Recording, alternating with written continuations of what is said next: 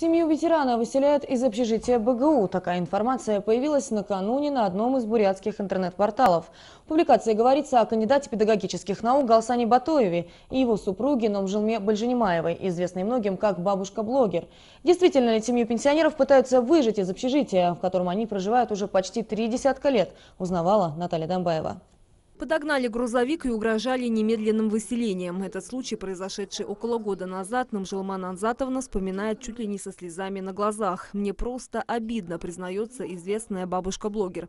Своим образом жизни она удивляет каждого, кому удается с ней пообщаться. В свои 69 лет Намжилман Анзатовна с компьютером на «ты». У нее свой интернет-блог, она пишет различные статьи на бурятском языке. Однако от мысли о выселении из родных стен у бабушки опускаются руки. Мы не хотим умирать в общежитии. Мы не хотим, чтобы нас выносили с общежития. Тоже мы же люди. Но если отсюда выкинет, мы же на самом деле бомжи получается. И если 50 лет в педагогической деятельности, я тоже всю жизнь работала, и от этого государства, ни от Советского Союза, ни от этого, ни одного сантиметра э, э, жилого ничего нету. Надеялись и верили, что кто-то поможет, делиться переживаниями Намжилман Анзатовна. Однако ни от властей, ни от сменяющегося руководства БГУ, как говорится, ни слуху, ни духу. В общежитии университета семья ветерана тыла Великой Отечественной войны заселилась еще в далеком 85 году. Тогда им выделили пять комнат, что со временем, по-видимому, показалось слишком много и роскошно для семьи пенсионеров. Потом это увеличили, э, но стали выживать получается, э, за, сначала три комнаты оставили, потом две комнаты, но потому что трудно платить квартоплату. За две эти, за две эти комнаты мы, как репрессированную год есть, вот оплачиваем, оплачиваем, но всегда в долгу.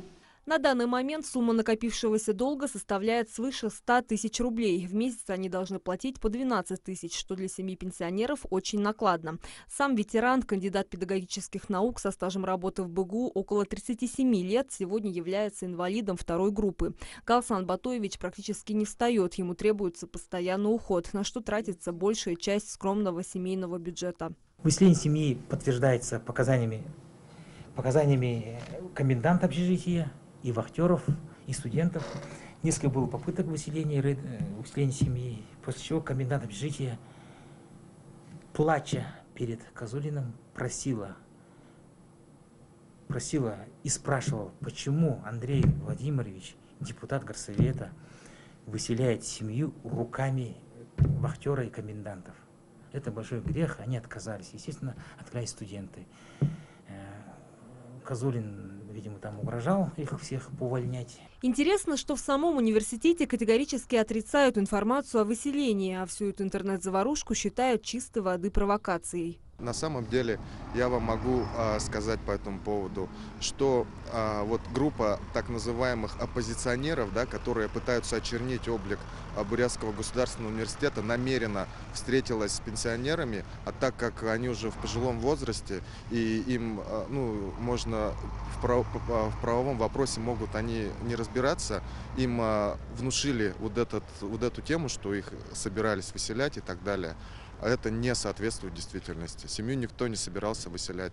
И более того, вопрос сейчас, ну, на самом деле, может возникнуть о том, почему Степан Владимирович, зная о том, что данная семья проживает уже пенсионера с 2000-х годов, а, и не озадачивался таким вопросом по решению а, жилищного, ну, то есть по решению их места проживания.